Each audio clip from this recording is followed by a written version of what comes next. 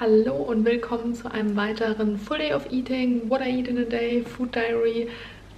Einfach ein ganz normaler Vlog, äh, ein ganz normaler Tag, an dem ich euch mitnehme und zeige, wie ich so esse. Ich war erst gar nicht sicher, ob ich das Video überhaupt heute filmen soll, denn die letzten Tage lief das intuitive Essen bei mir nur so mittelgut, aber ich will euch ja alles zeigen auf meiner Reise äh, zu einem ganz normalen Essverhalten und deswegen dachte ich mir, filme ich auch einfach heute und mal schauen, wie es heute so wird. Ich hatte aber einfach die letzten Tage so ein wenig Probleme, auf meinen Körper zu hören. Ich weiß auch nicht, es gab keinen Auslöser und auch gar keinen Grund, aber es war einfach so, dass ich dachte, ich muss doch jetzt mal Hunger haben oder ich möchte jetzt aber was essen, auch wenn ich keinen Hunger habe oder ich habe jetzt total Lust, was zu essen und sehr irrational einfach. Aber so Tage gibt es halt auch. Manchmal ist man Wochen, Monate lang im Fluss und isst, wenn man Hunger hat und hört auf, wenn man satt ist. Und manchmal gibt es halt auch einfach Tage, wo man denkt, ich muss den ganzen Tag essen. Dabei hat man gar keinen richtigen Hunger. Ich habe ja schon im letzten Video ein bisschen darüber gesprochen, wie sich das für mich anfühlt. Und ja, so Tage gibt es halt auch. Und was ich da vor allem wichtig finde, ist, dass man sich immer wieder sagt, es ist überhaupt nicht schlimm, wenn es so Tage gibt. Es ist einfach nicht schlimm und es ist ganz normal und gerade wenn man eben von einem etwas gestörteren Essverhalten kommt, Kalorien zählen, Diäten, Crash-Diäten, Shake-Diäten, was auch immer, dann wird das halt auch passieren und das ist wie gesagt absolut nicht schlimm und es passiert ja auch nichts. Klar habe ich dann deutlich mehr gegessen, habe dann hier mal einen Snack gehabt, hier mal einen Snack gehabt und da noch mal eine Handvoll Nüsse oder so, aber ist nicht schlimm. Heute ist wieder ein neuer Tag. Heute werde ich wieder probieren, mehr auf meinen Körper zu hören, mich mehr auf meine Aufgaben konzentrieren und das Essen wieder nebensächlich werden zu lassen. Und dann, ja, ist es gar kein Thema. Was ich noch sagen will, ist, dass ich zum Beispiel am Wochenende sehr, sehr, sehr viel Chips und sowas gegessen habe. Aber für mich ist das auch kein Thema, denn ich finde, der Riesenunterschied ist beim intuitiven Essen, dass man halt sagt, man macht das freiwillig. Man sagt, hey, heute Abend will ich mit meinem Partner auf der Couch einfach mal kann ein paar leckere Sachen essen, äh, muss ja nicht mal was Süßigkeitenmäßiges sein. Es kann ja auch sein, dass man sich einen Teller mit Schinken, Käse und Oliven oder so macht. Ähm, aber man isst dann halt auch, wenn man gerade keinen Hunger hat. Und das finde ich überhaupt kein Thema. Für mich liegt der Riesenunterschied da drin, dass es sich eben nicht wie eine Fressattacke anfühlt. Die, die schon welche hatten, wissen jetzt, was ich meine. Dass man es essen muss. Dass man wirklich bis zum letzten Bissen essen muss. Dass man bis die Tüte leer ist essen muss, weil man eben im Kopf hat, morgen esse ich wieder nach Diät XY, morgen esse ich wieder nur Low Carb, morgen esse ich wieder nur äh, Gemüse oder sonst irgendwas. Das ist für mich so der Riesenunterschied. Man kann zu viel essen, man kann über den Hunger hinaus essen. Das ist gar kein Thema und es ist auch nicht schlimm und das machen wir alle Menschen. Nur wenn man halt ja aus einem Essverhalten kommt, was so ein bisschen schwierig war, dann denkt man direkt, oh Gott, war das jetzt zu viel? Was ist jetzt? Nehme ich zu, nehme ich ab, wie auch immer. Und ähm, ja, ich sage mir dann auch einfach immer, ich wollte das, das war freiwillig, ich hatte da Lust drauf, ich habe mich da bewusst dafür entschieden, ich habe es auch genossen, ich habe es nicht einfach nur in mich reingestopft, weil ich es essen musste, weil ich es am nächsten Tag nicht mehr bekomme, sondern ich hatte da echt Lust drauf, ich habe es genossen, ich war übervoll danach und hatte einen mega vollen Bauch oder habe mich äh, träge gefühlt, aber ist nicht schlimm, denn ich habe mich dafür entschieden und es hat sich nicht so angefühlt, als wäre ich in irgendeiner Fresstrance, wie das dann bei mir zum Beispiel auch früher immer war. Und da liegt bei mir echt so der Unterschied, wie es sich halt eben anfühlt für einen selbst. Und was für Mengen man da ist, ist ja auch immer dann sehr individuell. Denn ich habe ein paar Nachrichten bekommen von Mädchen, die gefragt haben, ja, kann ich denn überhaupt noch dann zu viel essen oder ist es dann direkt intuitives Essen gebrochen, wenn ich dann eben zu viel gegessen habe? Und nein, intuitives Essen könnt ihr nie brechen, denn das ist einfach nur was, was ihr nach eurem Gefühl macht. Und wie gesagt, wenn ihr dann drei Wochen lang jeden Tag zu viel esst, aber das halt bewusst macht und freiwillig und da Lust drauf habt, dann ist es auch total in Ordnung. Und dann fangt ihr am nächsten Tag wieder an und sagt, hey, heute warte ich einfach mal ab, bis der Hunger kommt und esse dann was. So werde ich es heute machen und ja, mich auf meine Uni-Aufgaben konzentrieren und dann einfach mal schauen. Vielleicht möchte mein Kopf auch wieder, dass ich 24 Stunden esse, so wie sich das gestern und vorgestern angefühlt habe. Aber ich werde es euch berichten. Die Unterlagen liegen schon vor mir. Wie ihr seht, geht es heute um Biases. Ich habe eine Übung gleich und da werde ich auch mitmachen und ähm, habe deswegen hier ein bisschen was vorbereitet. Ja, genau. Und dann sehen wir uns, denke ich, nach der Übung. Was Frühstück angeht, da kann man sich auf meinen Hunger verlassen. Heute gibt es aber mal gesalzenes Karamell-Whey anstatt wie sonst immer natürliche Schokolade in den Soats. Und dazu zwei Knäckebrote mit Butterkäse und mit Marmelade wieder. Die Übung war sehr, sehr gut, war sehr spannend. Ich habe auch danach dann noch mit einem Kommilitone weiter diskutiert über die Themen und ähm, ich habe auch wieder gemerkt, wenn man halt was zu tun hat und auch was macht, was einem Spaß macht, dann werden so Themen wie Ernährung oder habe ich schon Hunger, habe ich nicht Hunger, was soll ich alles essen, werden dann einfach total nebensächlich. Deswegen kann ich da immer nur sagen, lenkt euch ab, euer Körper, euer Magen wird euch dann schon zeigen, wenn ihr wirklich Hunger habt und das klappt bei mir heute auch schon viel besser, weil gerade gestern um die Uhrzeit, so halb zwei haben wir jetzt, glaube ich, da war es halt echt so, dass ich dachte, ich muss doch jetzt mal Hunger haben. Ich habe doch erst um 10 gefrühstückt. Äh, schon um 10 oder 11 hatte ich gestern gefrühstückt und so, ich muss doch jetzt mal Hunger haben, warum habe ich keinen Hunger? Und habe mir so Gedanken gemacht, anstatt einfach zu entspannen, mich auf meine Sachen zu konzentrieren und zu warten, bis sich dann der Hunger meldet. Und das werde ich auch heute genauso machen. Deswegen esse ich jetzt auch noch nichts, obwohl das eigentlich so meine Standarduhrzeit ist, wo ich dann auch normalerweise Hunger bekomme.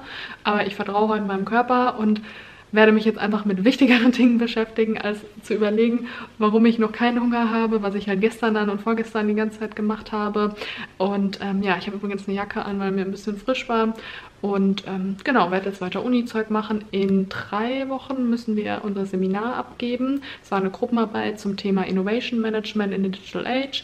War sehr spannend, aber Gruppenarbeiten haben ja so ein bisschen ihre Vor- und Nachteile. Möchte ich jetzt auch nicht näher drauf eingehen. Ähm, aber ja, ich bin dann froh, wenn es abgegeben ist. Die Thematik war super spannend, sehr vielschichtig, sehr aktuell und ähm, wirklich cool. Und ja, 20 Seiten mussten wir schreiben, also auch human eigentlich, aber es ist trotzdem schon echt viel Arbeit natürlich. Aber ich mag das ja so, Scientific Papers zu lesen, deswegen mochte ich das eigentlich ganz gerne. Und in sechs Wochen ist die erste Klausur. Ich muss sagen, dass ich dafür jetzt noch nichts mache, denn ganz ehrlich, wenn ich jetzt irgendwie was auswendig lerne, dann dann weiß ich das in sechs Wochen eh nicht in der Regel. Was ich halt nur immer probiere, ist natürlich auf dem neuesten Stand zu sein und auch mitzudenken. Weil klar, wenn man jetzt nur rein was auswendig dahin schreiben muss, dann kann man das auch kurz vorher machen und dann ähm, eben da hinschreiben, aber oft wird ja dann doch transfermäßig gefragt und wenn man sich dann halt vorher schon selbst Gedanken gemacht hat, Beispiele überlegt hat, Fragen überlegt hat und einfach einen Kontext hergestellt hat, dann kann unser Gehirn das natürlich viel leichter und schneller und stressfreier abrufen, weil wir eben dann gut vorbereitet sind und deswegen probiere ich da auch wirklich nicht nur zuzuhören, sondern auch wirklich mitzudenken in den Übungen mal oder in den äh, Vorlesungen. Natürlich mal mehr, mal weniger. Es gibt auch Vorlesungen, da bin ich gefühlt nur am Handy. Ähm, die gibt es auch, da muss ich es mir nochmal anschauen und dann konzentriert. Aber ja, wollte ich einfach nur mal sagen, so handhabe ich das und so vier Wochen vor den Klausuren fange ich dann an, so ein bisschen ja, intensiver mich damit zu beschäftigen und auch schon die ein oder anderen Sachen auswendig zu lernen oder halt noch intensiver zu üben. Und ich würde eigentlich fast sagen, so zwei Wochen vor der Klausur geht es dann so richtig los, dass ich so intensiv acht Stunden oder so mich damit beschäftige. Ich glaube nicht mal acht Stunden, eher so ja, doch so acht Stunden passt schon. So von acht bis vier oder so sitze ich meistens am PC, aber davon lerne ich ja nicht durchgehend. Da mache ich auch Pausen oder andere Sachen. Aber ja, genau, deswegen, ich habe noch ein bisschen Zeit, noch ein bisschen Entspannung und mir ist es auch irgendwie wichtig, dass ich dann halt zu dem Zeitpunkt, wenn ich es brauche, frisch und motiviert bin. Was bringt es mir, wenn ich mich jetzt super stresse, hardcore lerne und dann bin ich schon total ausgebrannt und am Tag der Klausur kriege ich es da nicht hin. Deswegen, ich probiere lieber, das entspannt anzugehen, damit ich halt Leistung bringen kann, wenn ich sie bringen muss und das ist eben halt am Tag der Klausur. Und ähm, genau, das ist natürlich auch was, das kommt mit der Routine, wenn man schon viele Semester hinter sich hat, viele Klausuren geschrieben hat, sein eigenes Tempo kennt, weiß, wie effektiv man lernen kann, beziehungsweise wie man effektiv lernen kann.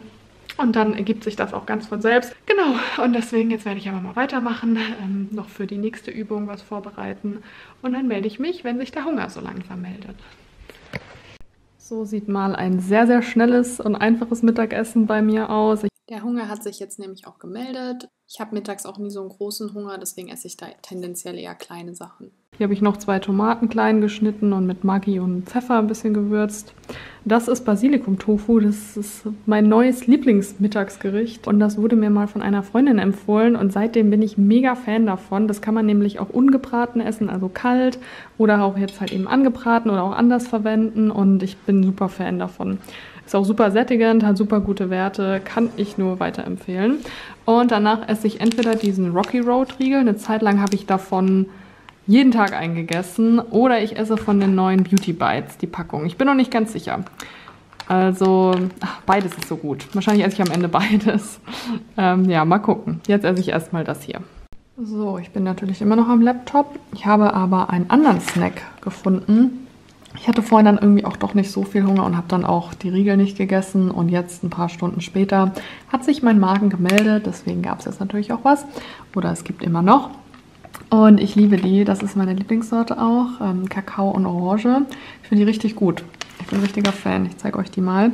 Sind auch echt so gut, als hätte man die selbst gemacht. Ich habe ja auch vor ein paar Monaten, nee, Wochen ein Video hochgeladen mit veganen Snacks und da habe ich ja Energy Balls selbst gemacht und die waren halt auch richtig gut. Die will ich auch demnächst nochmal machen, weil man die halt einfrieren kann und dann einfach auftauen, wenn man Lust drauf hat. Das war auch richtig cool. Kann ich euch unten verlinken oder jetzt hier oben. Aber jetzt nehme ich erstmal mit denen vorlieb und die sind auch sehr lecker. Und dann melde ich mich später nochmal. Ich mache mich jetzt auf zu meinem täglichen Spaziergang. Ich probiere eigentlich wirklich jeden Tag was zu machen und irgendwie rauszukommen. Ich werde auch so unausstehlich, wenn ich mich nicht genug bewege, beziehungsweise nicht mal ausstehlich, aber ich fühle mich dann einfach nicht ausgelastet genug. Ich mag halt einfach auch Bewegung. Und selbst wenn das manchmal nur ein 10 Minuten, Viertelstunde Spaziergang ist, ich finde, das ist schon so viel wert, wenn man halt den ganzen Tag nur rumsitzt und beim Homeoffice bewegt man sich ja noch weniger als im Büro oder so. Und deswegen lege ich da auch echt viel Wert drauf und das ist mir echt wichtig. Und das mache ich auch jetzt gleich. Einfach noch eine kleine Runde und ähm, will aber später noch ein Workout machen, weil, wie ihr wisst, trainiere ich ja auch trotzdem noch ein bisschen. Zwar nicht mehr so intensiv wie früher, aber ich mag ja trotzdem in Form bleiben und auch was für meinen Körper tun. Genau, und jetzt geht es aber erstmal spazieren. Ich habe eine Mütze an, Handschuhe habe ich auch eingepackt und meine neue äh, Winterjacke habe ich auch an.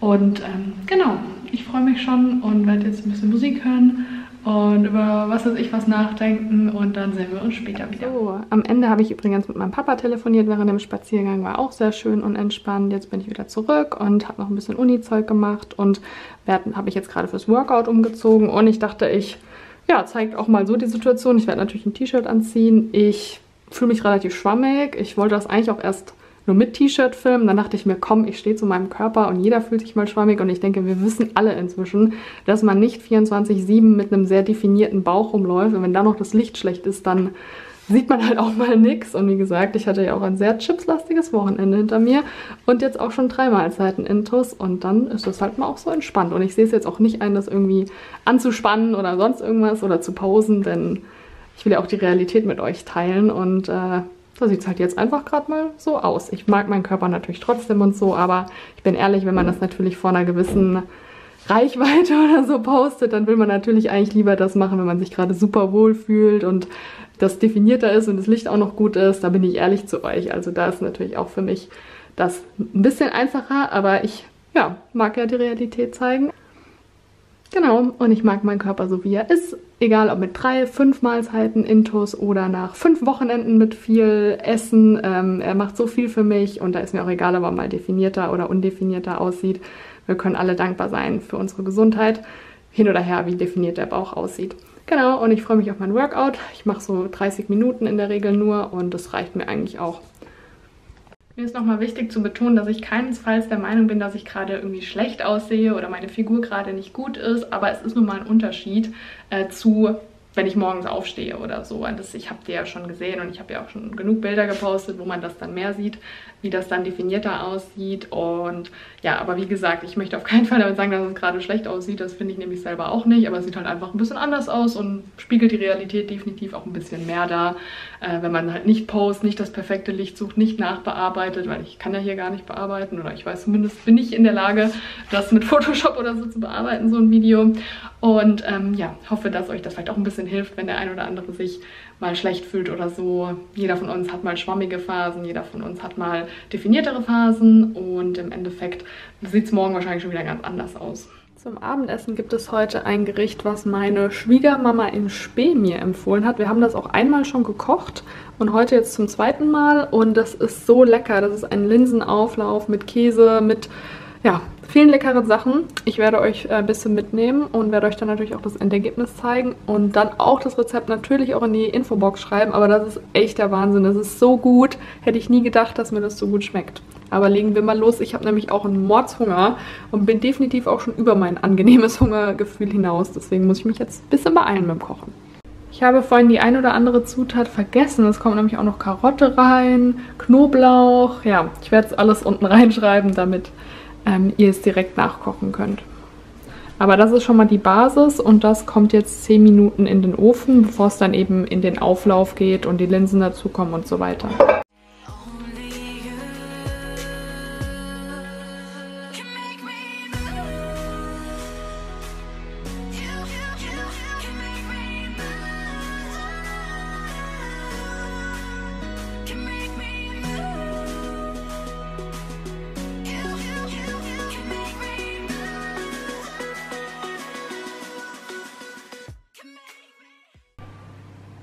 Das kommt jetzt ab in den Ofen und fünf Minuten vor Ende kommt noch der Gratterkäse drüber.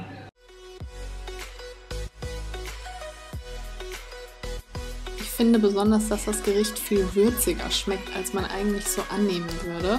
Und ich hatte auch zwei Portionen, denn ich hatte ja riesen Hunger.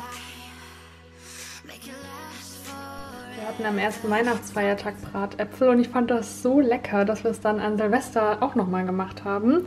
Und auch heute werde ich es nochmal machen, weil ich es einfach so lecker finde. Und ich mache dazu auch noch eine Vanillesoße. Ich benutze aber Stevia, weil wir haben auch gar keinen Zucker mehr. Und ihr habt ja schon gesehen, wie ich das hier angerührt habe. Ich mache einfach so nach Gefühl ein, zwei Esslöffel Mandelsplitter und Rosinen und auch ein Esslöffel ungefähr Butter. Dann warte ich halt eben, bis der weich wird, damit man es so verrühren kann. Und das fülle ich dann gleich hier rein. Ist ein bisschen wenig geworden irgendwie. Aber ich mache das jetzt einfach. Und hier seht ihr jetzt die letzte Mahlzeit für heute den Bratapfel schwimmend in Vanillesoße. Sie sind beide auseinandergefallen, aber macht ja nichts. Ich freue mich schon mega drauf. Ich mache das in Zukunft einfach öfter. Ist mir egal, ob kein Weihnachten ist. Das schmeckt einfach so lecker.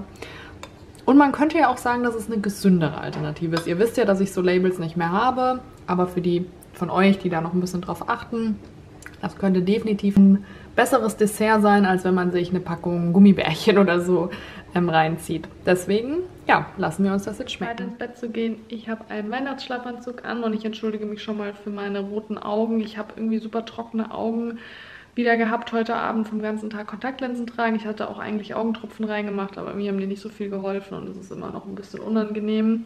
Ich möchte heute mal kein Buch empfehlen, sondern zwei Serien. Ich glaube nämlich, dass beide Serien relativ unbekannt sind in Deutschland und deswegen ja vielleicht dem einen oder anderen ja, gefallen könnten und der sie halt noch nicht so entdeckt hat. Nämlich die eine Serie ist Afterlife auf Netflix. Das ist eher eine Komödie, aber es werden auch ein paar ernste Themen angesprochen.